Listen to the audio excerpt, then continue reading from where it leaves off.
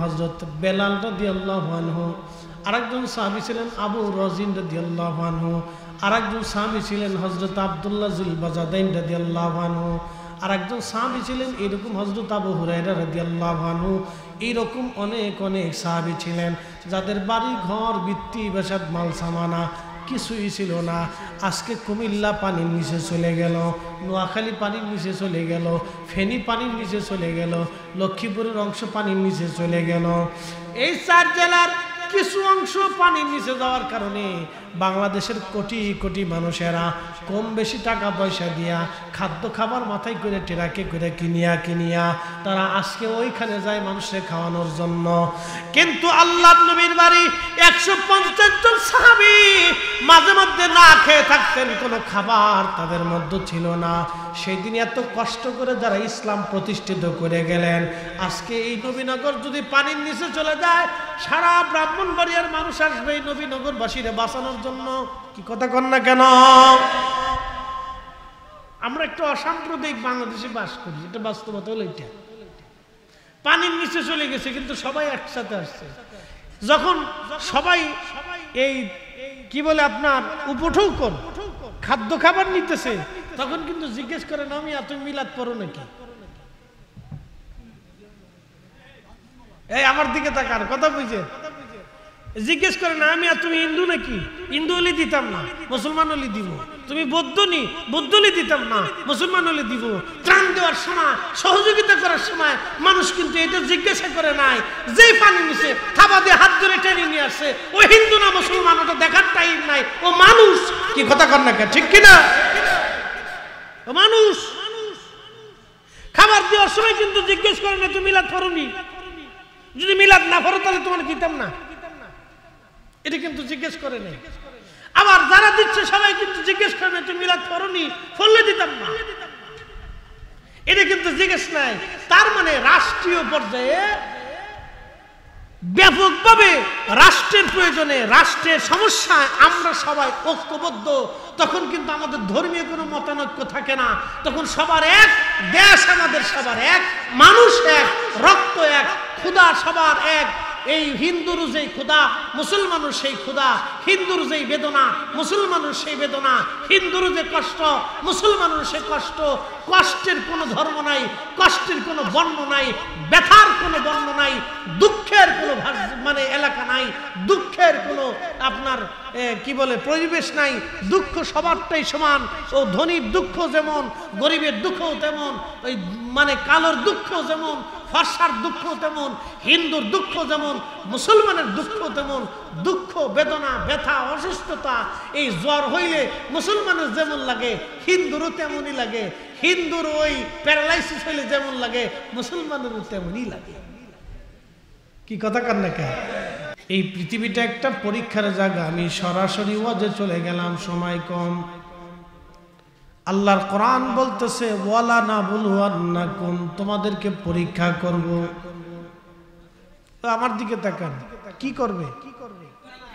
হ্যাঁ জোরে বলেন, কি করবে? কে করবে?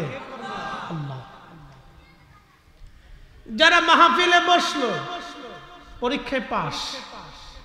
একসাথে বলেন না সুবাহান আল্লাহ যারা মাহফিলে বসছে তারা পরীক্ষায় কি? পাশ। কারণ এটা পরীক্ষা। কে আসবে কে আসবে না, এটা রেকর্ড হচ্ছে। লিখিত হচ্ছে। যারা আসলো, তারা পাস। এই যে বন্যার ভিতরে অনেক মানুষ টাকা উঠাইয়া মানুষের দ্বারে দ্বারে, কাঁধে করে, মাথায় করে মানুষের জন্য খাবার নিয়ে যাইতেছে।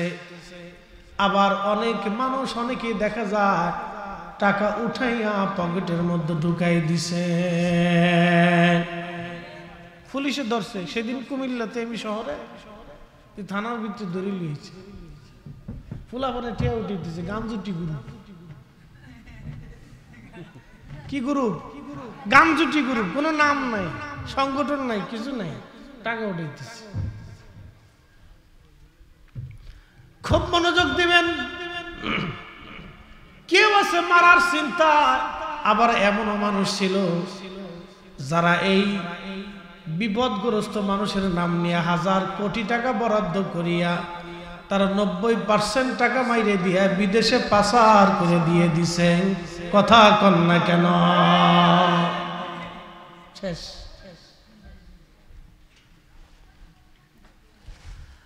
মুসলমান, খুব মনোযোগ দিয়ে কথাগুলি শুনবেন। ولنبلونكم بشيء من الخوف والجوع ونقص من الأموال والأنفس والثمرات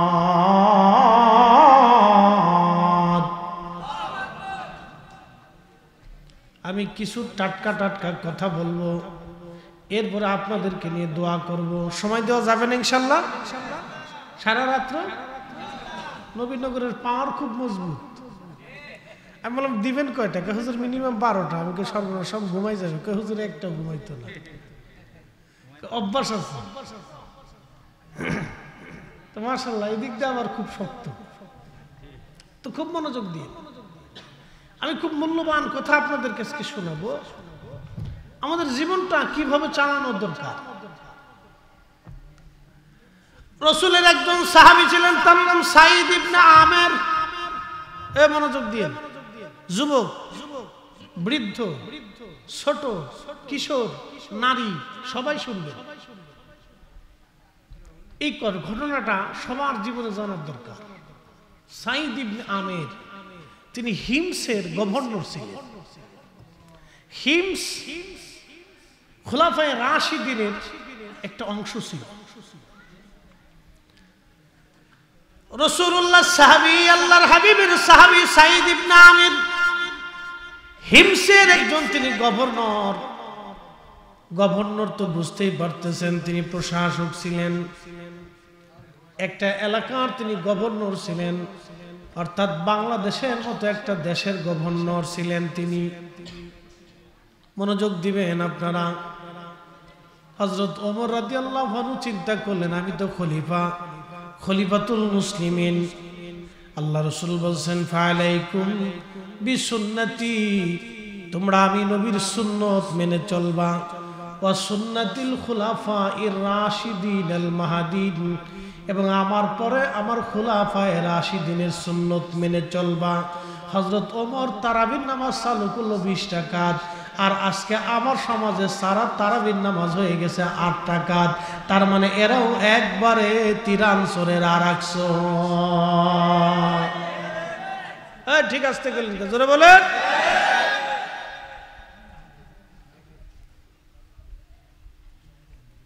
এরা টাকা চুরি করে নাই কিন্তু আমল চুরি করে দিছে। ঘুমাইছিনি দাদা? হ্যাঁ হ্যাঁ ঘুমাই না। ঘুমাইলে বিপদ? কথা কইছি রে আজকে টাটকা কথা কব টাটকা কথা শোনার দরকার। আমাদের দেশে যারা মানুষের পকেটের টাকা চুরি কইরা বিদেশে পাচার করল তারাও এক প্রকারের বিরাট চোর।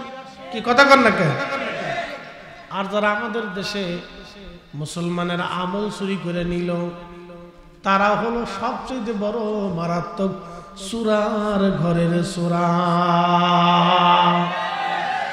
কোন সন্দেহ? ধরে বলুন, সন্দেহ? দুই চোর এক গ্রুপ এগুলো টেকা চোর একটা আমল চোর কি কথা কর না কে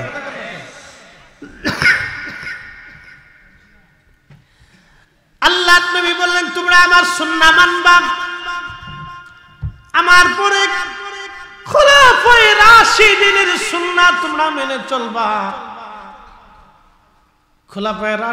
অন্যতম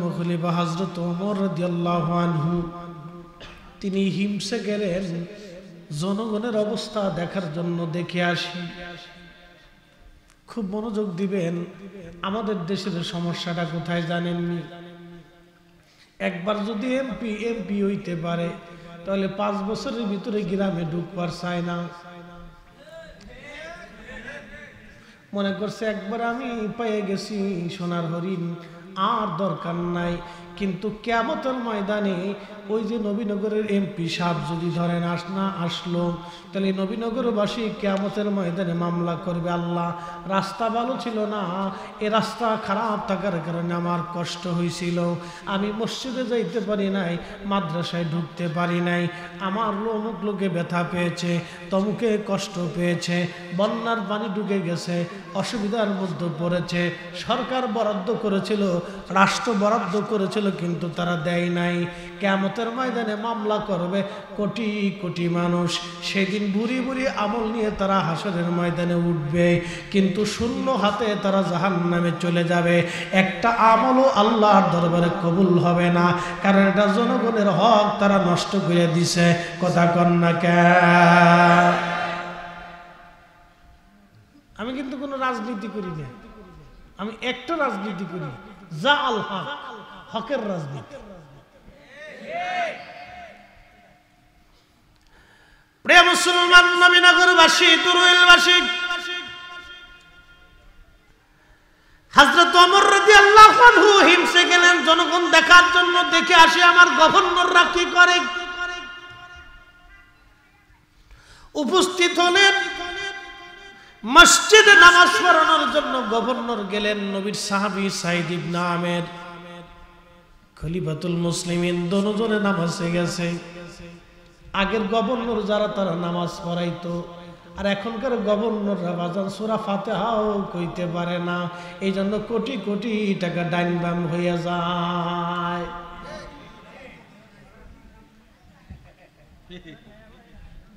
ডিসি নামাজ পড়াইতে হবে জেলা পরিষদ মসজিদে।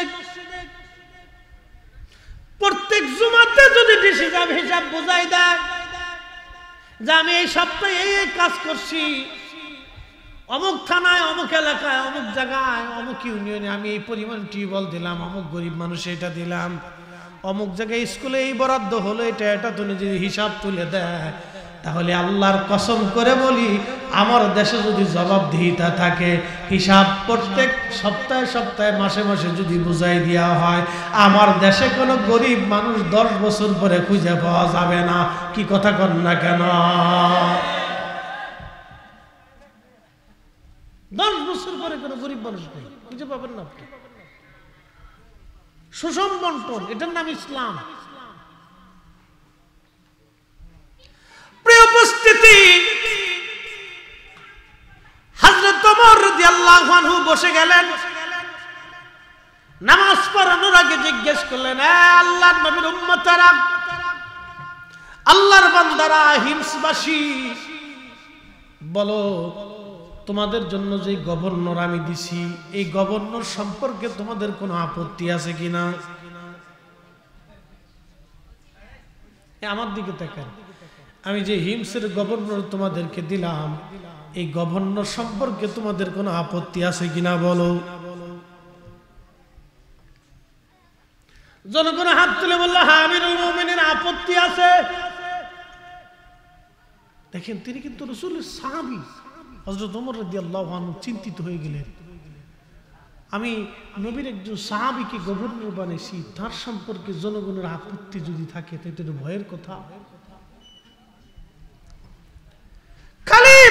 মুসলিমিন হজরত অমর চিন্তার মধ্যে পড়ে গেলেন, তিনি হায়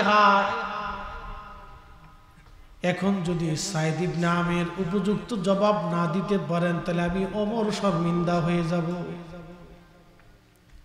বলো, তোমাদের অভিযোগগুলি কি বলো? লোকেরা ডাক দিয়ে বলল, আমিরুল মুমিনিন, প্রথম অভিযোগ হলো তিনি সকালবেলা কাজে আসে না, আসলে একটু দেরি করে আসে, কারণ জানি না।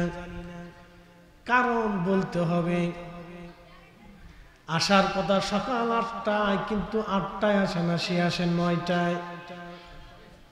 এক ঘণ্টা লেট, কারণটা কি? জবাব দিতে বলেন। হজরত ওমর রাজি আল্লাহ ডাক দেয় বলেন, গভর্নর, আল্লাহ রসুলের সাহাবি আপনি জবাব দিয়ে দেন, জনগণ আপনার কাছে জবাব চায়। হজরত সাইদ ইবনে আমের ডাক দে বলেন, আমিরুল মুমিনিন, বিষয়টা নিজের মধ্যে এবং আল্লাহর মধ্যে গোপন রাখতে চাইছিলাম।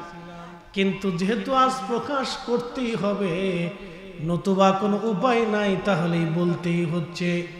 হুজুর, আমি গভর্নর বটে, কিন্তু আমার একজন কাজের কোনো লোক নাই। একসাথে বলবেন আল্লাহ আকবার না না, আরও জোরে বলেন। আরও জোরে বলেন। গভর্নর, কাজের লোক নাই। আমিরুল মুমিনিন, আপনি তো জানেন, আমি গভর্নরের কোনো বেতন নেই না। আরও জোরে। আমি কোনো বেতন নেই না। কাজের লোক আমার নাই। আমি নিজে সকালবেলা ফজর নামাজের পরে বাড়ি ঘর পরিষ্কার করি। আমি নিজে রুটি বানাই, নিজে আটা তৈরি করি, নিজে রান্না বান্না করি, নিজের কাপড় নিজে ধৌত করি। যার কারণে আমার আসতে দেরি হয়ে যায়। আমি ইচ্ছা করে দেরি করি না, কাজের কারণে আমার দেরি হয়ে যায়। একবার জোরে বলা যাবে কি মারা হাওয়া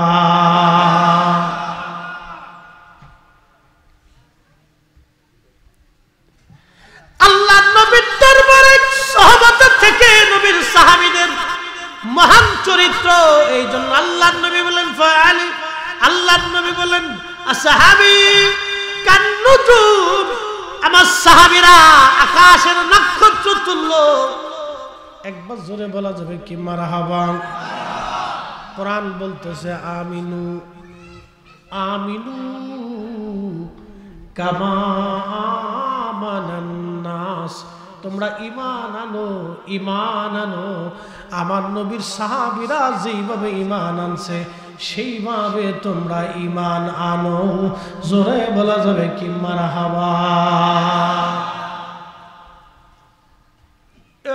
তাকান আমাদের দেশে মানুষ মরে যায় না, মারা যাওয়ার পর অনেকে আফসোস করে না। লোকটা যদি ভালো হয়, তাহলে মানুষের আফসোস করে, আহা, লোকটা ভালো ছিল, নামাজি ছিল, পরহেজগার ছিল, পরোপকারী লোকটা ছিল হাসি খুশি ছিল, মানুষের ক্ষতি করতো না, লোকটা খুব ভালো লোক ছিল।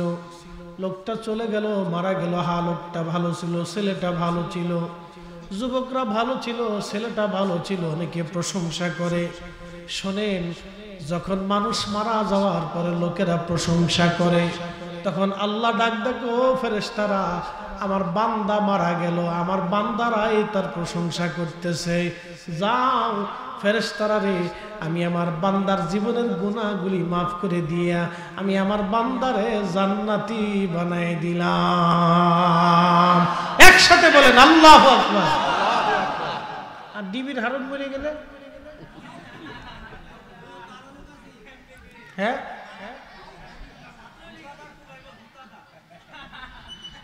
হেটা যদি মরে যায়, তাহলে মানুষ কি বলবে? এমন জীবন করিও কঠোর।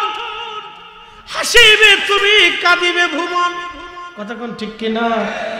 এমন জীবন করিও গঠন হাসিবে তুমি, কাঁদিবে ভুবন। ক্ষমতা পাইলে ব্যবহার করা ঠিক না।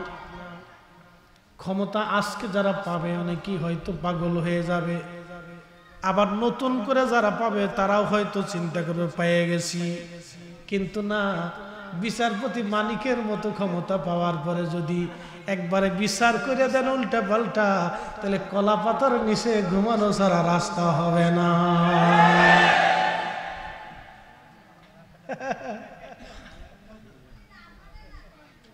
কোরআন বলতেছে, কুলিল্লাহুম্মা মালিকাল মুলকি তুতিল মুলকা মান ওয়া তানজিউল মুলকা মিম্মান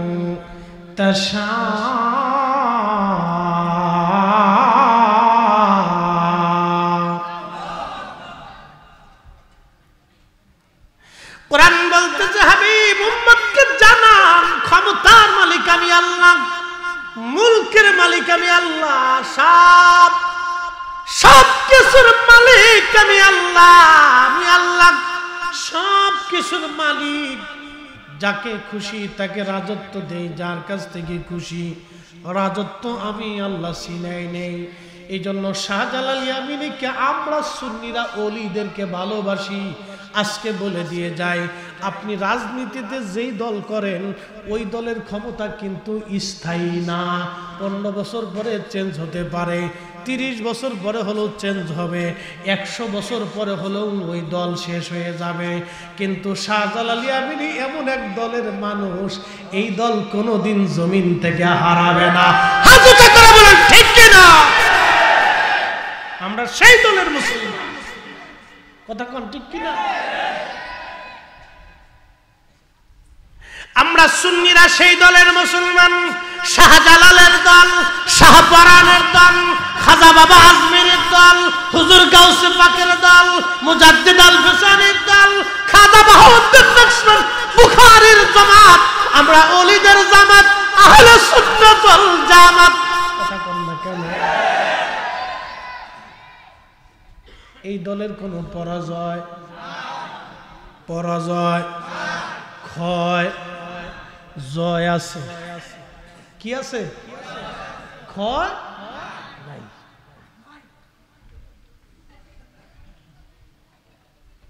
আল্লাহর কোরআন বলতেছে হুজুর খুশি আমি মুলকের মালিক বানাই খুশি মুলক থেকে আমি আল্লাহ সিনাই নেই تعز من تشاء وتذل من তাসা।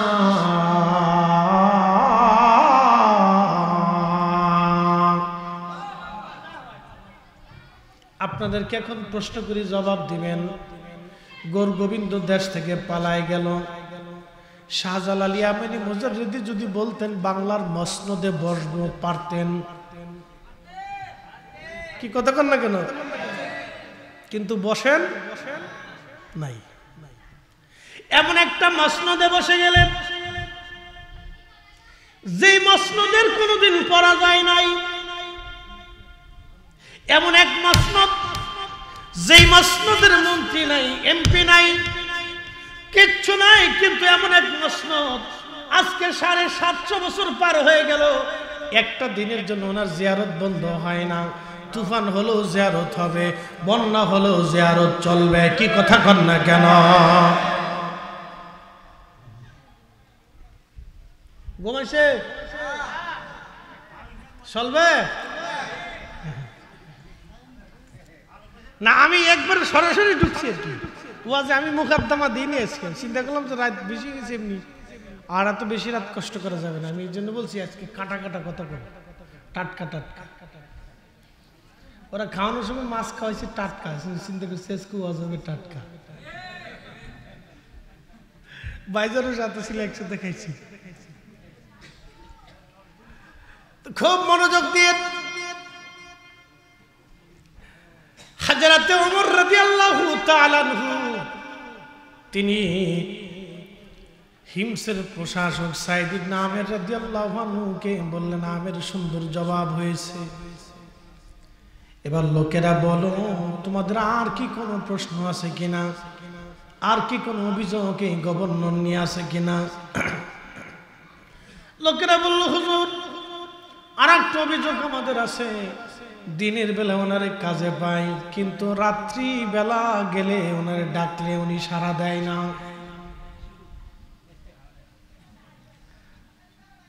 সারাদিন উনি আমাদেরকে নিয়ে কাজ করেন, কিন্তু রাত্রিবেলা ওনারে পাওয়া যায় না। কারণটা কি? জবাব দিতে বলেন।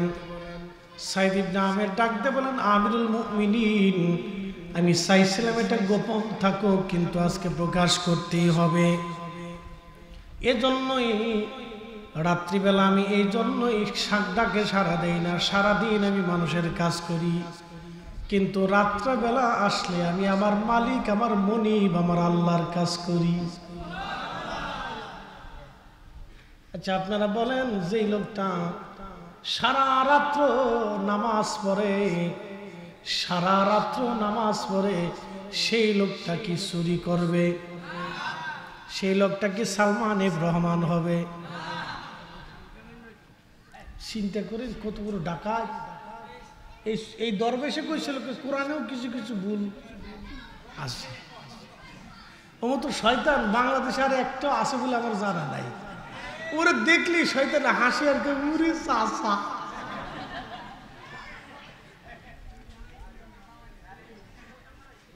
সব সাদা। আমি মাঝে মধ্যে ওয়াজ করতাম যে সব সাদা।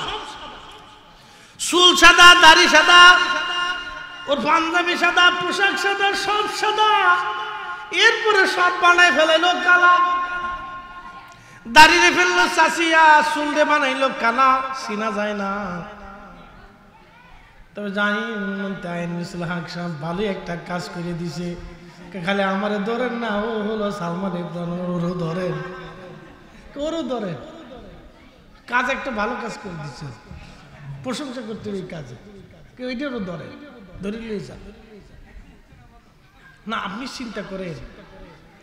বাংলাদেশে পদ্মা সেতু করতে টাকা লাগছে বত্রিশ হাজার কোটি।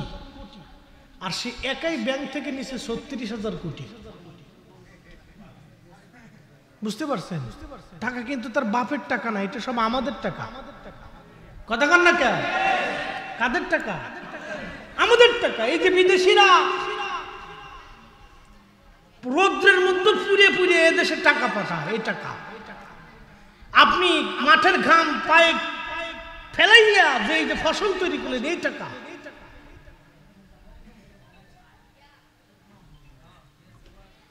প্রিয় মুসলমান, পদ্মা সেতু তৈরি হলো বত্রিশ হাজার কোটি সে একা নিয়ে গেল ছত্রিশ হাজার কোটি। এই অবস্থা অত্যন্ত ভয়াবহ এই জন্য বলতেছি, নবী সাহাবী হযরত সাইদ ইবনে আমির রাদিয়াল্লাহু আনহু বললেন, আমিরুল মুমিনিন, রাত্রিবেলা আমি ঘুমাই না, সারা রাত্র আমি আমার মালিক আল্লাহর ইবাদতে কাটাই দেই। কারণ সারা দিন তো আমি মানুষের কাজ করি, মানুষের জন্য আমি কাজ করি, কিন্তু সারাটা রাত আমি আমি আল্লাহর কাজ আদায় করে নেই। একবার জোরে বলা যাবে কে মারা হাবা?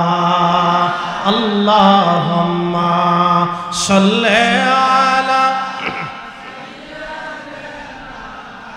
মাওলানা মোহাম্মদ আরি সৈয়দনা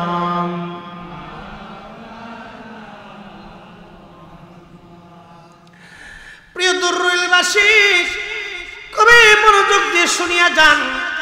হাজরতে অমর রাজি আল্লাহ ডাক দিয়ে বললেন, ও লোকেরা, আপনারা বলেন, আর কি কোনো অভিযোগ আপনাদের গভর্নর নিয়ে আসে লোকেরা মিনিন আর একটা অভিযোগ আমাদের আছে। এক মাস পরে একটা দিন সে কারও সামনে আসে না। ঘরের মধ্যেই সে থাকে, কারও ডাকেও সে সাড়া দেয় না। কারণটা কি? দয়া করে বলতে বলবেন নি আমরা তো কিছুই জানি না। এক মাস পরে একদিন, এক মাস পরে একদিন, সারা রাত্র এই আমাদের গভর্নর সাইদ ইবনে আমের রাদিয়াল্লাহু আনহু, তিনি ঘরের মধ্যেই থাকেন, বের হন না। হযরত ওমর বললেন, সাইদ ইবনে আমের, আপনি দয়া করে জনগণের এই প্রশ্নের জবাব দিয়ে দেন। সাইদ ইবনে আমের আনহু বলেন, আমিরুল মুমিনিন, আপনি তো জানেন আমি অত্যন্ত হীন ও দরিদ্র মানুষ। হুজুর, আমার একটা মাত্রই জুব্বা আছে, এছাড়া আর কোনো জুব্বা আমার নাই। আরও জোরে বলেন। না না, আরও জোরে বলেন। এখন যুবকরা অনেক কিছু নেবেন না, আমাদের পোশাকের অভাব নাই, কিন্তু আমরা নিজেরা হাফ প্যান্ট মেরে ঘুরি। কথা কন এখন তো আমাদের পোশাকের কোনো অভাব নাই, কিন্তু নিজেরা হাফ প্যান্ট পরে ঘুরি। কারণটা কি? হাফ প্যান্ট পরে কেন ঘুরবেন আপনি? আপনার তো পোশাকের কোনো অভাব নাই। কেন হাফ প্যান্ট বুঝতে কি কোনো অসুবিধা হয়? তাহলে চিন্তা করেন, আমি ওনার তিনটে গুণ আপনাদের সামনে উপস্থাপন করলাম। সারা পৃথিবীতে এরকম একজন মানুষ পাওয়া যাবে? পাওয়া যাবে। এই জন্য সাহাবিরা ব্যতিক্রম। এই জন্য আল্লাহর কোরআন বলতেছে, আমার নবী সাহাবিরা যেইভাবে ইমান আনছে, তোমরা সেইভাবে ইমান আনো। একসাথে বলবেন কি আল্লাহ একবার তাহলে চিন্তা করেন, তারা কত বড় আমানতদার। ও নারী সমাজ, মনে কিছু নেবেন না। স্বামী বিদেশ, আমাদের ছেলেরা কষ্ট করে। বিদেশে প্রচণ্ড পরিশ্রম ওরা করে। চাইলেই কিন্তু বিদেশিরা আপনাকে টাকা দিবে না। টাইম টু টাইম তাদের কাজ আদায় করে দেওয়ার পরে তারা মাইনা দেয়। এত সহজ না। আপনি চাইলেই টাকা পাবেন না। টাইম টু টাইম কাজ আদায় করার পরে তারা মাইনা দেয়। কাজ আদায় না করলে বিদেশিরা এক টাকাও আপনাকে দেবে না। এর ভিতর থেকে ওরা নিজেরা খরচ করে, এরপরে এগুলি ফ্যামিলির জন্য তারা পাঠায়। নারীদেরকে বলব, নারী সমাজ, আপনারা শুনে যাবেন, স্বামীর একটা টাকাও আপনার কাছে আমানত। যদি নষ্ট করে ফেলেন, এটার জন্য আল্লাহর দরবারে জবাব জবাবদিহিতা আছে। কি কথা কর না কেন? খালি টাকা পাইলেই মার্কেটে চলে যাবেন, তা হবে না। তা হবে না, তা হবে না। একজন গভর্নর, মানুষের সম্পদ কি করে আমানত রাখে দেখেন? আল্লাহ আকবার আল্লাহ আকবার। লোকেরা তার কাছে জবাব চাইলো, দেখেন সে একটু দেরি করে আসে, তারও জবাব দেওয়া লাগল। সে মাসে একবার দেখা করে না, তারও জবাব দেওয়া লাগল। সারা রাত্র ভরে সে মানুষের কথা শোনে না, তারও জবাব দেওয়া লাগল। এটার নাম ইসলাম, এটার নাম জবাবদিহিতা। আমাদের বাংলাদেশের প্রত্যেকটা সেক্টরে যদি জবাবদিহিতা থাকে, যেমন মসজিদ কমিটি হিসাব বোঝাই দেয় যে আমাদের এত টাকা আয় হয়েছে এত টাকা ব্যয় হয়েছে মসজিদের হিসাব যদি মসজিদের কমিটি মুসল্লিদেরকে বুঝাই দিতে পারে তাহলে কেন অর্থনীতি বিভাগ বুঝাই দিবে না? তাহলে কেন স্বরাষ্ট্র মন্ত্রণালয় বুঝাবে না? তাহলে কেন পররাষ্ট্র মন্ত্রণালয় বুঝাবে না? বাণিজ্য মন্ত্রণালয় বুঝাবে না? ধর্ম মন্ত্রণালয় বুঝাবে না? আপনার এই যে তারপরে কি বলে কৃষি মন্ত্রণালয় বুঝাবে না? প্রত্যেকটা মন্ত্রণালয় প্রত্যেকটা সেক্টরে যদি জবাবদিহিতা তাহলে আমার দেশের গরিব মানুষের রক্ত আজকে চুষার সুযোগ ছিল না।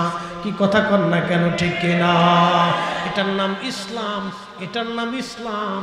সাড়ে চোদ্দশো বছর আগে আল্লাহর নবী এই দিন ব্যবস্থা আমাদেরকে দিয়ে গেছেন। এই জন্য আল্লাহর নবী বললেন আলাইকুম বিসুন্নতি তোমরা আমার সুন্নাহ মানবা। ওয়া সুন্নাতিল খুলাফা এর রাশিদিন আল মাহাদিন। আমার খুলাফায়ে রাশিদিন সুন্নাহ তোমরা মেনে চলবা। দুইটা সুন্নাহ যদি তোমরা মেনে চলতে পারো আমার উম্মতেরা, কোনোদিনও তোমরা ধ্বংস হবা না, কোনোদিনও তোমরা পথভ্রষ্ট হবা না, কোনোদিনও তোমরা মিথ্যার কাছে মাথা নত করে থাকবা না। আজকে আদর্শ নিয়ে গেলে আমেরিকা, যার কারণে পৃথিবী শাসন করতেছে তারা। আজকে এই আদর্শ নিয়ে গেলো ইউরোপ যার কারণে সারা পৃথিবীতে ছুটা ঘোরায় তারা। আজকে আদর্শ মুসলমান থেকে দূরে চলে গেল। আজকে মধ্যপ্রাচ্যের বাচ্চারাও ইসরায়েলের কাছে মাথা নত করে থাকে। এত বোমা মারলো, এত মানুষ মারলো। একটা বাচ্চাও একটা কথা বলতে সাহস পায় না। তার মানে বোঝা গেল সব দুর্বল, এজন্যই দুর্বল। তারা অর্থের কাছে দুর্বল হয়ে গেছে, তারা নীতির কাছে দুর্বল হয়ে গেছে, তারা আদর্শের কাছে দুর্বল হয়ে গেছে। তারা আমার রসুলের আদর্শ মানে নাই। আমার নবীর তরিকা মানে নাই, আল্লাহর তরিকা নিয়ে এসেছিলেন, এই তরিকা তারা না মানার কারণে আজকে ইসরায়েলের মতো একটা রাষ্ট্রের কাছে পৃথিবীর সব মুসলমানরা মাথা নত করে আছে। আরে মুসলমান যদি জেগে উঠে, তাহলে ইসরায়েল মতো রাষ্ট্র পৃথিবী থেকে নিশ্চিন্ন হয়ে যাবে। কথা বলেন ঠিক না বেঠে? মানুষ যদি জাগে, তো শেষ। ও কোনো ব্যাপারই না। ও পেশাব করে শেষ করে দিবে মুসলমানরা পেশাব করল, দেশ ভাইসে চলে। কিন্তু আমির মধ্যপ্রাচ্যের, তারা ইসরায়েলের দালালি করে। আর ওদের দেশের মৌলবীরা আমার দেশে আইসে খালি আট টাকার তারাবি পড়ো বুকের উপরে হাত বান্ধো খালি ফেতনা বাঁধায়। কি কথা কর না অত দলিলের দরকার নাই তো। পয়সা ফাইজলামি শুরু করছে। আমরা সাড়ে চোদ্দশো বছর ধরে তো নাবির নিচে হাত বাঁধছি। ইসলাম তো শাহজাল আলী আমিনী মুজারদি আনছে। কি কথা কর না কেন? তিনি যদি এইভাবে বাঁধতেন, তাহলে এদেশের এই আঠারো কোটি মুসলমান এইভাবেই হাত বাঁধত। সাড়ে চোদ্দশো বছর আগে থেকে দেশে ইসলাম আসা শুরু হয়েছে। সাহামিকরাম আসছিলেন, কিন্তু হয়তো ব্যাপকভাবে আসে নাই। খাজা আজমিরি রহমতুল্লাহ সেঞ্জুরি তিনি আসছিলেন।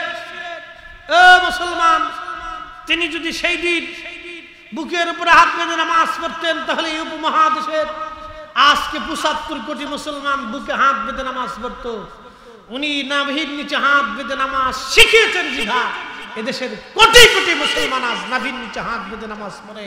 উনি নবীর তরিকা শিখিয়ে গেছেন, উনি রসুল করিমের তরিকা শিখিয়ে গেছেন, আল্লাহর হাবিবের তরিকা শিখিয়ে গেছেন।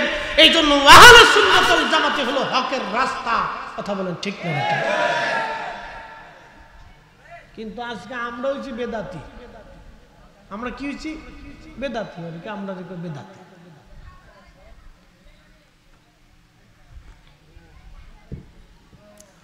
প্রিয় মুসলমান আমার, খুবই মনোযোগ দিয়ে কথাগুলি শুনবেন সাহাবাই গ্রামের কথা বলছিলাম। নবী স্বামী সাইদ ইবনে আমের রাদিয়াল্লাহু আনহুর কথা বললাম। আজ চিন্তা করলেন, একজন গভর্নর কেমন হতে হবে? তার আরেকজন খলিফা তিনি নির্বাচন করলেন। তিনি তার ওই ভুল টুটি কিছু আছে কিনা, মানুষের কাছ থেকে তিনি জেনে নিলেন। প্রিয় দুর্রেলবাসী মা বোনেরা, খুব মনোযোগের সাথে কথাগুলি আপনারা শুনবেন। আল্লাহ আকবার। আল্লাহ রসুলের সাহাবিদের জীবনে এরকম চমৎকার ছিল। নবীর দরবারে একশো পঞ্চাশ জন সাহাবি মতান্তরে বেশিও হতো, কমও হতো। যদি কোনোদিন মক্কা, মদিনায় যান, তাহলে আপনারা দেখবেন মদিনাত মনোয়ারায় বর্তমান যে রওজা শরীফ এই রওজা শরীফের আমাদের হিসাবে পূর্ব কোনায়। আমাদের হিসাবে পূর্ব কোনা রওজা শরীফের পূর্বে একটা টিলি এলাকা আছে এখানে। একটা গাছ ছিল, ওই গাছের নিচে একশো পঞ্চাশ জন, আশি জন, কম বেশি সাহাবিরা বসতেন। এদেরকে আহলে সুফা সাহাবি বলা হতো। আহলে সুফা সাহাবি, এই সুফা থেকে হয়েছে সুফি। এ আমার দিকে তাকান। আমাদের দেশে সুফি যারা আসছে এই আহলে সুফা থেকে সুফি, অর্থাৎ দুনিয়াদারি থেকে তারা মুক্ত থাকে। এই আহলে সুফা সাহাবি ছিলেন একশো পঞ্চাশ জন। মতান্তরে বেশি হবে, কম হবে। মাঝে মধ্যে বেশি হইতো, মাঝে মধ্যে কম হইতো। এই বেশি কমের মধ্যে একজন সাহাবি ছিলেন, তার নাম হজরত বেলাল রদি আল্লাহ আরেকজন সাহাবি ছিলেন আবু রজিন রদি আল্লাহ আনহু, আরেকজন সাহাবি ছিলেন হজরত আবদুল্লাহ জুল বাজাদাইন রদি আল্লাহ আনহু আর একজন সাহাবি ছিলেন এরকম হজরত আবু হুরাইরা রদি আল্লাহ আনহু এইরকম অনেক অনেক সাহাবি ছিলেন যাদের বাড়ি, ঘর বৃত্তি বেসাদ, মাল, সামানা কিছুই ছিল না। আজকে কুমিল্লা পানির নিচে চলে গেল, নোয়াখালী পানির নিচে চলে গেল, ফেনী পানির নিচে চলে গেল, লক্ষ্মীপুরের অংশ পানির নিচে চলে গেল। এই চার জেলার কিছু অংশ পানির নিচে যাওয়ার কারণে বাংলাদেশের কোটি কোটি মানুষেরা কম বেশি টাকা পয়সা দিয়া খাদ্য খাবার মাথায় করে টেরাকে করে কিনিয়া কিনিয়া তারা আজকে ওইখানে যায় মানুষের খাওয়ানোর জন্য। কিন্তু আল্লাহ নবীর বাড়ি একশো পঞ্চাশ জন সাহাবি মাঝে মধ্যে না খেয়ে থাকতেন, কোনো খাবার তাদের মধ্যে ছিল না। সেই দিন এত কষ্ট করে যারা ইসলাম প্রতিষ্ঠিত করে গেলেন, আজকে এই নবীনগর যদি পানির নিচে চলে যায়, সারা ব্রাহ্মণবাড়িয়ার মানুষ আসবে এই নবীনগরবাসীরে বাঁচানোর জন্য কি কথা কন না কেন? আমরা একটু অসাম্প্রদায়িক বাংলাদেশে বাস করি, এটা বাস্তবতা হলো এটা। পানির নিচে চলে গেছে, কিন্তু সবাই একসাথে আসছে। যখন সবাই এই কি বলে আপনার উপঠৌকন খাদ্য খাবার নিতেছে, তখন কিন্তু জিজ্ঞেস করেন, আমি এত মিলাদ পড়ো নাকি? এই আমার দিকে তাকার কথা বুঝে জিজ্ঞেস করে না আমি আর তুমি হিন্দু নাকি? হিন্দু হলে দিতাম না মুসলমান হলে দিব। তুমি বৌদ্ধ নি বৌদ্ধ হলে দিতাম না মুসলমান হলে দিব। ত্রাণ দেওয়ার সময়, সহযোগিতা করার সময় মানুষ কিন্তু এটা জিজ্ঞাসা করে নাই। যেই পানি নিছে, থাবা দিয়ে হাত ধরে টেনে নিয়ে আসছে ও হিন্দু না মুসলমান, ওটা দেখার টাইম নাই। ও মানুষ। কি কথা কর না ঠিক কিনা? ও মানুষ। খাবার দেওয়ার সময় কিন্তু জিজ্ঞেস করে না, তুমি মিলাদ পড়নি? যদি মিলাদ না পড়ো, তাহলে তোমার দিতাম না। এটা কিন্তু জিজ্ঞেস করে নেই। আবার যারা দিচ্ছে সবাই কিন্তু জিজ্ঞেস করে না তুমি মিলাদ পড়নি ফললে দিতাম না। এটা কিন্তু জিজ্ঞেস নাই। তার মানে রাষ্ট্রীয় পর্যায়ে ব্যাপকভাবে রাষ্ট্রের প্রয়োজনে রাষ্ট্রের সমস্যায় আমরা সবাই ঐক্যবদ্ধ। তখন কিন্তু আমাদের ধর্মীয় কোনো মতানৈক্য থাকে না। তখন সবার এক, দেশ আমাদের সবার এক, মানুষ এক, রক্ত এক ক্ষুধা সবার এক এই হিন্দুর যেই ক্ষুধা, মুসলমানের সেই ক্ষুধা, হিন্দুর যেই বেদনা, মুসলমানের সেই বেদনা, হিন্দুর যে কষ্ট, মুসলমানের সেই কষ্ট, কষ্টের কোনো ধর্ম নাই, কষ্টের কোনো বর্ণ নাই, ব্যথার কোনো বর্ণ নাই, দুঃখের কোনো মানে এলাকা নাই, দুঃখের কোনো আপনার কি বলে, পরিবেশ নাই, দুঃখ সবারটাই সমান, ও ধনীর দুঃখ যেমন, গরিবের দুঃখও তেমন, ওই মানে কালোর দুঃখ যেমন ফর্সার দুঃখ তেমন, হিন্দুর দুঃখ যেমন, মুসলমানের দুঃখ তেমন, দুঃখ, বেদনা, ব্যথা, অসুস্থতা, এই জ্বর হইলে মুসলমানের যেমন লাগে, হিন্দুরও তেমনই লাগে, হিন্দুর ওই প্যারালাইসিস হইলে যেমন লাগে, মুসলমানেরও তেমনই লাগে। কি কথা কান না কেন? এই জন্য দেখবেন ডাক্তার যারা, তারা আপনি যদি ইন্ডিয়াতে চিকিৎসা করতে যান, হিন্দু ডাক্তারের কাছে গেলে ও কিন্তু মুসলমান দেখা চিকিৎসা ভুল করে না, সে চিন্তা করে সে মানুষ। ঠিক আসতে গেলেন কে? জোরে কর বাংলাদেশে কোনো ডাক্তার যখন চিকিৎসা করা তখন যদি সে মুসলিম ডাক্তার ফাঁসুক্ত নামাজ পড়ে দাঁড়িয়ে আছে আছে মাথায় টুপি কিন্তু হিন্দু রুগী গেলে সে এটা মনে করে না যে হিন্দু আমি তার ভালো চিকিৎসা দিব না সে একটার জন্য চিকিৎসা দেয় সে মানুষ। সে কি? মানুষ। তাহলে রাষ্ট্রের পর্যায়ে রাষ্ট্রের কাজে আমরা সবাই এক। কি কথা কর না কেন? রাষ্ট্রের কাছে কি আমরা সবাই আমাদের কোনো ভিন্নতা নেই। প্রিয় উপস্থিতি, খুবই মনোযোগ দিবেন। কিন্তু এমন একটা দিন ছিল এই ইসলামের জন্য, কালেমার জন্য। অনেকের জীবনের বিরাট দুর্বিষহ জীবন আসছে। আমার ভাইরা বারবার বলেছে, হুজুর বেলালের ওয়াজ করবেন। আমি জানি এই ওয়াজ কোটি কোটি মানুষ এই ওয়াজ শুনেছে। প্রতিনিয়তই ওয়াজ শুনেছেন। একই ওয়াজ যদি বারবার করি তো লোকেরা বলবে, হুজুর, একই ওয়াজ করে। বারে বারে ঘুরে ঘুরে একই ওয়াজ করে। ওই জায়গা শুনছিলাম এই ওয়াজ, ওই জায়গা শুনছিলাম এই ওয়াজ। হুজুর খালি এই ওয়াজই করে। এই জন্য অনেকে বললেও আমি ওয়াজ করতে চাই না। তারপরে যেহেতু আপনারা আশা করছেন কমিটির পক্ষ থেকে আসা হুজুর ওয়াজটা একটু শোনাবেন, আমি লম্বা ওয়াজ শোনাবো না আর সামান্য একটু শোনাই। সাথে আরও কয়েকজন সাহাবির জীবনে আমি অ্যাডজাস্ট করে নিব, খুব মনোযোগ দিবেন। হজরত বেলাল ছিলেন একজন কীত দাস, আর নবীর একজন সাহাবি ছিলেন বিশ্ববিখ্যাত ফকি তার নাম আবদুল্লাহ ইবনে মাসুদ রাদিয়াল্লাহু আনহু। তিনি ছিলেন রাখাল। একবার জোরে বলা যাবে কি আল্লাহু আকবার। এই আমার দিকে তাকেন। একজন ছিল কৃত দাস আর একজন ছিল কি? রাখাল। কিন্তু পৃথিবীতে তারা এত শ্রেষ্ঠ হয়েছে এত দামি যে তাদের নাম শুনলে এই আমাদের সম্মানের সাথে উচ্চারণ করতে হয়। আমার দিকে তাকান, খুব মনোযোগ দিয়ে। মানুষ কিন্তু দামি হয়, চেহারায় না, মানুষ দামি হয় কাজে। মানুষ দামি হয় কিসে? কাজে কাজে। ফরিদ হিসাবের চেহারা খুব সুন্দর। এখন ভিক্ষুক আমার কাছে এসে আমি যদি ধাক্কাতে ফেলাই দিই আমার মতো নিকৃষ্ট মানুষ পৃথিবীতে নাই। আপনি দেখবেন এই বর্ণার্থদেরকে ছোট ছোট বাচ্চারও দিয়ে যেতেছে টিফিনের টাকা জোগাড় করিয়ে রাখছে, ওরা খাবে, সেই টাকা বর্ণার্থদেরকে দিয়ে যেতেছে আবার দেখলাম এক ভিক্ষুক এসেও দিতেছে। আমার বিকাশে সেই দিন একজন ষাট টাকা পাঠাইছে। আর একজন একশো টাকা পাঠাই দিয়ে ফোন দিয়ে বলতেছে, হুজুর, একশো টাকা পাঠিয়েছে পাঠাইছে মাসাল্লাহ ভালো। হুজুর, আমি অসুস্থ মানুষ, দোয়া করবেন আমার আমি অসুস্থ, কঠিন অসুস্থতার ভিতরে আছি তারপর একশোটা টাকা হয়ে আমি শরীর থাকলাম। এটা হচ্ছে মানবতা। মানবিক দিক। দিতে পারো অনেক। এক টাকাও দিতে পারে। না দিয়ে হাতের সাহায্য দিয়ে কথা দিয়েও সাহায্য করতে পারে।